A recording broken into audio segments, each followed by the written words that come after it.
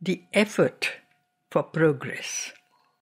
Sweet Mother, when we make an effort to do better but don't see any progress, we feel discouraged. What is the best thing to do? Not to be discouraged. Despondency leads nowhere.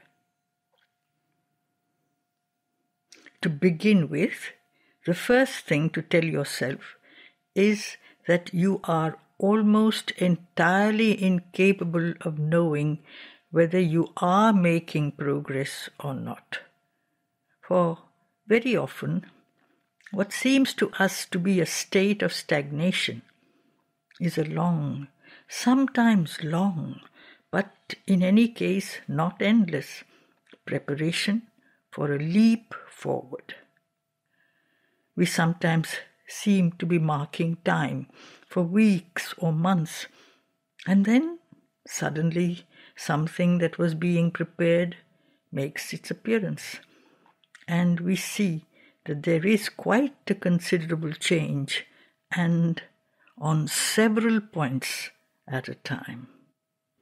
As with everything in yoga, the effort for progress must be made for the love of the effort for progress, the joy of effort, the aspiration for progress must be enough in themselves, quite independent of the result. Everything one does in yoga must be done for the joy of doing it and not in view of the result one wants to obtain. Indeed, in life, always, in all things, the result does not belong to us.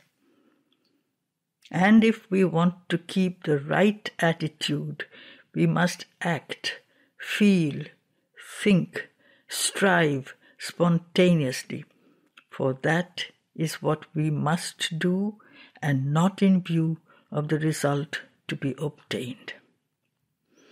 As soon as we think of the result, we begin to bargain, and that takes away all sincerity from the effort. You make an effort to progress because you feel within you the need, the imperative need to make an effort and progress. And this effort is the gift you offer to the divine consciousness in you, the divine consciousness in the universe. And it is your way of expressing your gratitude, offering yourself, and whether this results in progress or not is of no importance. You will progress when it is decided that the time has come to progress and not because you desire it.